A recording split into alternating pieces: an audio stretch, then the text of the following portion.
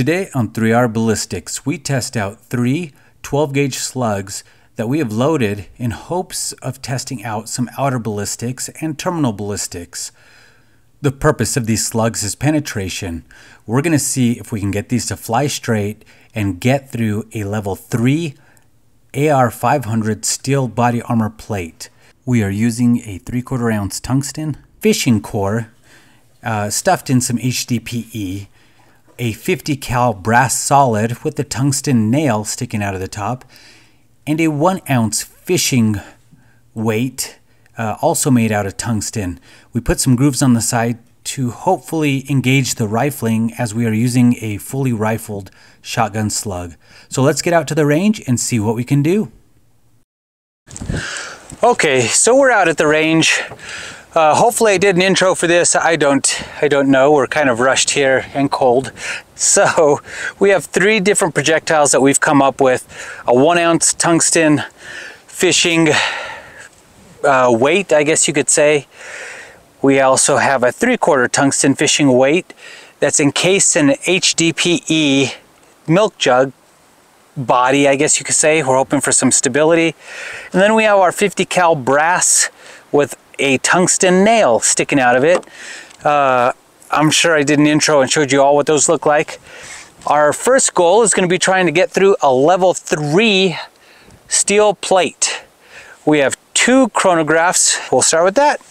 Okay, so our first up is going to be the 50 cal brass, which interestingly enough is uh, we cast it ourselves using the brass from what we shoot here at the range. So it's a 50 cal brass with a tungsten nail that we tried to harden. So first one up, let's see if it even flies straight. You ready?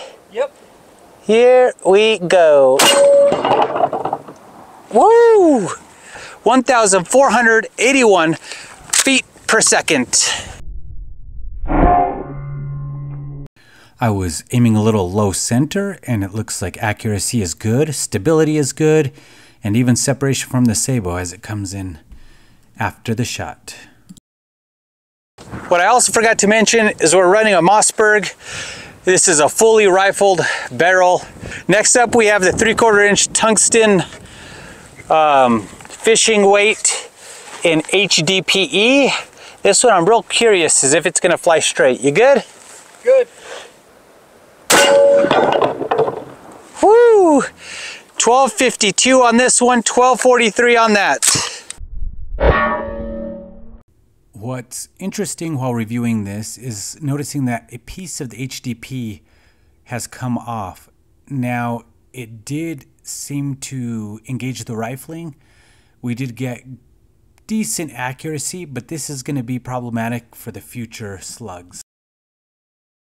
And last up, we got the one ounce tungsten fishing weight. We're gonna go more towards the top of the plate if this goes where it's supposed to. We'll go right above the center one. Here we go.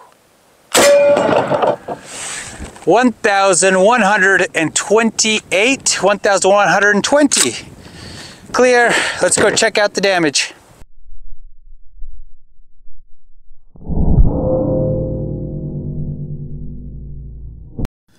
Here it comes, flying straight and stable.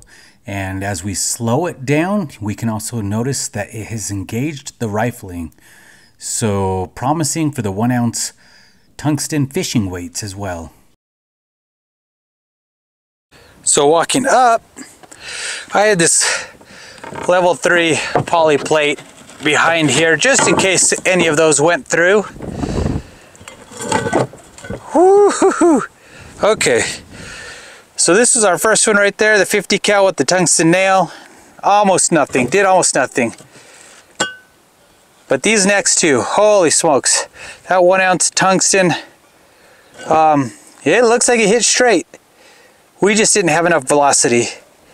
And the three quarter ounce, same thing. It maybe not didn't hit so straight, but uh, yo, those, uh, I'll move it right there. You can probably see how much how much bending it did to that. So we have three specialty rounds we're gonna hit this with at the end of the video. Stay tuned for that, but we're gonna continue on the testing with these three that we have made. We're gonna try to catch these, encapsulate them, for lack of a better word, in some polycarbonate. We are shooting two and a quarter inches of polycarbonate, hoping that it kind of reacts kind of like ballistic gel. So first up again is gonna be the brass with the nail. You good? Yep. We're going dead center. Speed 1462, 1478. Clear. Once again, we have good stability and very decent accuracy. As you can see from the sabot spinning there, we also had good engagement with the rifling. As we slow it down, you can see the solid brass hit head first as the sabot follows. That thing looks amazing in there. It did what we wanted to. Next up, we're doing the three quarter ounce tungsten with HDPE. Here we go. We're gonna hit it to the left of the other one. Good? Yep. Huh, we got 1280 up there and 843.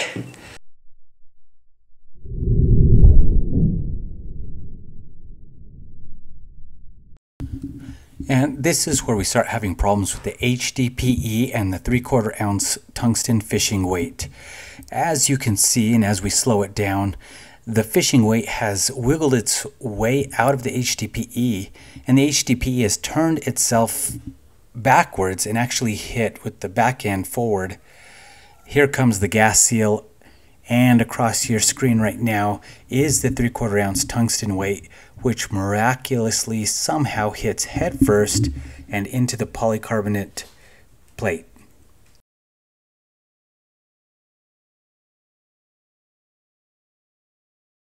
So that one came apart and that's why we got the slow-mo camera. We noticed that the tungsten left the body of the HDPE and went wonky, but we still caught it in our ballistics polycarbonate. Next up, we have the one ounce all by itself. You ready? Yep. Here we go. Well, that was interesting.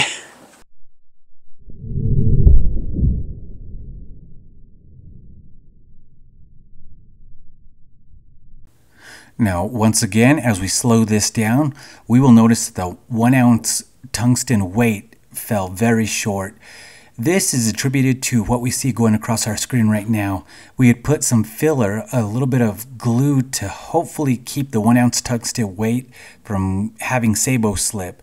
What that did is it kept it in the sabot a little bit longer, drug it down, and as you can see on the bottom left of your screen, it uh, did not engage any of the rifling either. Okay, so that last tungsten, the one ounce, did not stay together. I had put some glue hoping that it would engage the rifling and so that we wouldn't have any sabot slip. And I think that pushed it straight down. We did not get it on the slow-mo. I'll see if the GoPro and stuff does in editing got it. But this is what I was talking about as far as our ballistics gel. It caught the first one, it caught the second one, I will try to show you there. There's a three quarter ounce tungsten. This is what these look like from the back. Hopefully that thing is focusing in on this. And we got lots of room left on this guy, so expect to see this one again. So onto the lead plate. This is obviously an ode to Taofledermaus. I talked to Jeff. This is one, this is 32 pounds of lead. I believe the thickness was over one and a half inches, maybe one and five eighths is what we measured. Uh, looks like Swiss cheese. Uh, I was hoping that it would come up on the camera a little bit better that way. But these have been flying real good. We're gonna start with the 50 cal brass with the tungsten nail. See what it does on there. 50 cal brass, we're gonna go right for the center. Those have been very consistent. 1,462, 1,435. Let's go take a look.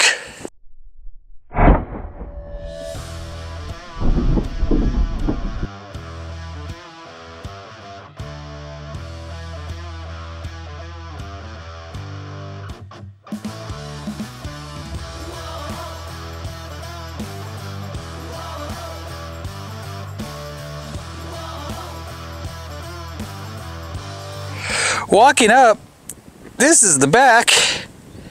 There's the 50 cal, but the nail isn't there. And if we look at the strike face, it went in.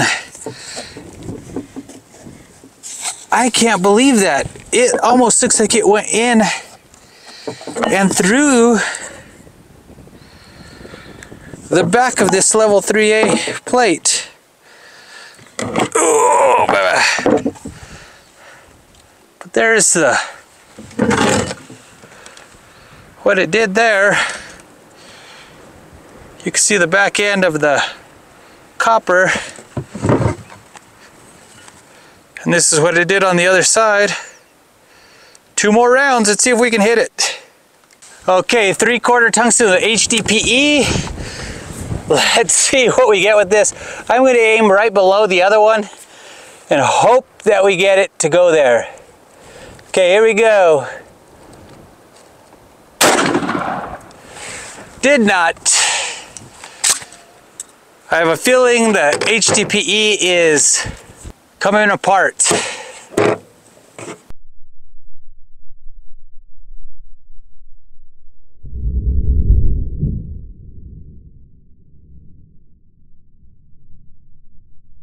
Looks like there was a failure on that one. So we are gonna go straight to the one inch and hope that it doesn't uh, doesn't stick as much as it did on the last one. Back to the lead plate, one ounce. You good? Yep. Here we go.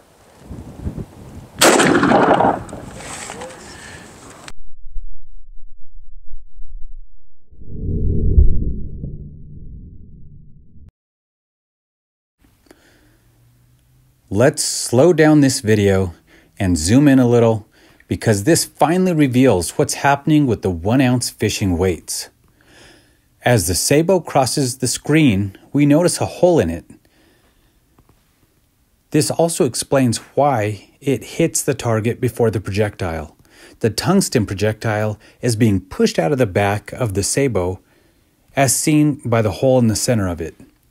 So to fix this, we need more support behind the tungsten projectile, which in this configuration just tumbles to the target.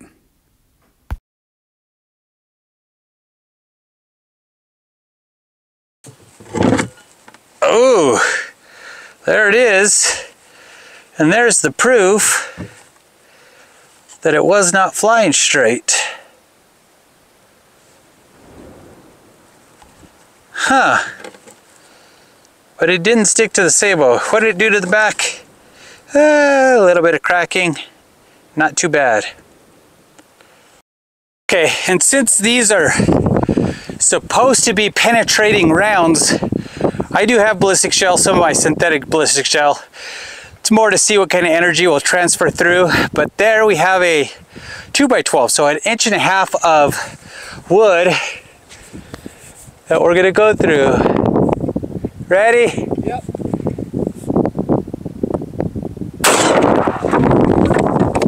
Clear.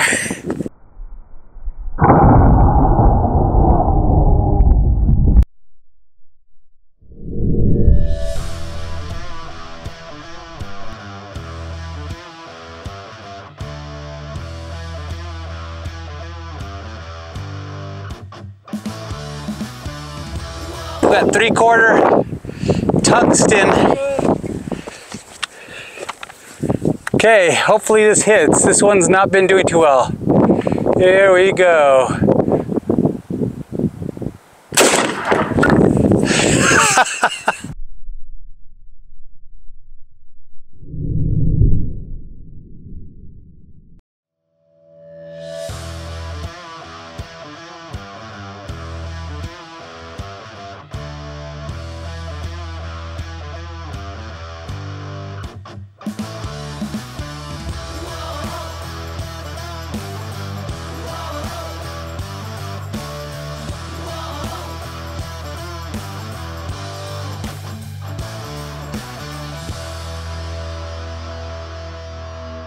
So for this last one, that, that three quarter tungsten went through the wood and all the way out the other side.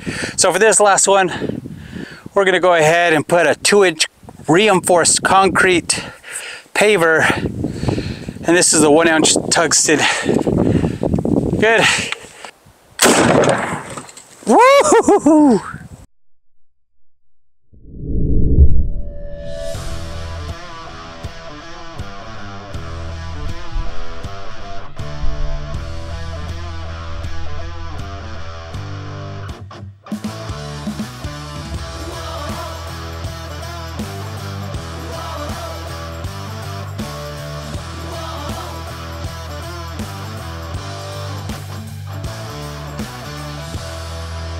So, we learned quite a bit on our first outing with slugs designed for a very specific purpose.